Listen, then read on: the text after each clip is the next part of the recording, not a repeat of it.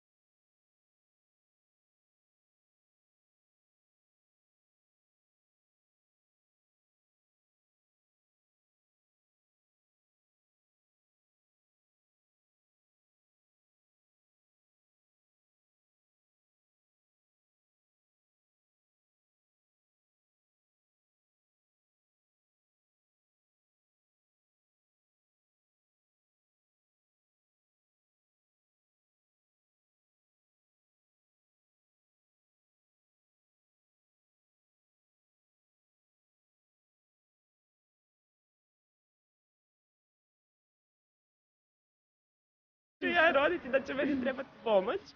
A i tvoja seka je tu bila zaslužna za pokretanje Žuli Petita jer... Vas dvije ste snimile u stvari kampanju.